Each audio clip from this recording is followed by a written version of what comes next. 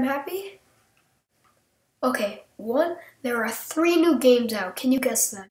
Yes, the games are Call of Duty Ghosts, Battlefield 4, and Assassin's Creed Black Flag. Those games are awesome. In my head, they're just like boop, boop, boop. If you think about it, these blockbuster games like shoot 'em ups and assassinates, those are awesome. Thousands of people buy them every year. I mean, Black Ops 2 was a riot.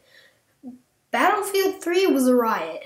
And everyone has have loved Assassin's Creed, the whole game series for a while. Same things, same thing. Mm, not a lot of people play Battlefield 2, but a lot of people have loved the Call of Duty series, the Assassin's Creed series. It's awesome. You know what I think I want to do?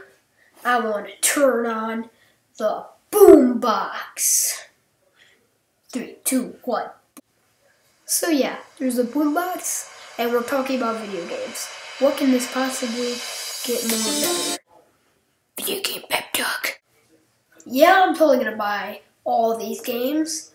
So yeah, that's my vlog, and I'm gonna give you a quick pep talk about these games. AC4, you get to assassinate people. That's fun. Pep talk. Now, Call of Duty Ghosts. You're the ghost guy from Black Ops. I mean, Modern Warfare 2. Well, you're not the ghost guy, but you have the ghost mask. And an earthquake happens, and you have a dog named Riley that can eat people, and you can control him.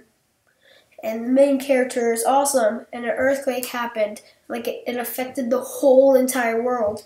And nuclear missiles hit, which but the radiation didn't spread, which made the earthquake worse. So everything's like spread apart. You get to jump, and in one mission, you're in space. Now, the last game, just forgot it. Now, it's more cartoony than I expected. I didn't like it. The graphics are pretty, sucky, but the worlds are big. My friend Sam likes it. It's okay.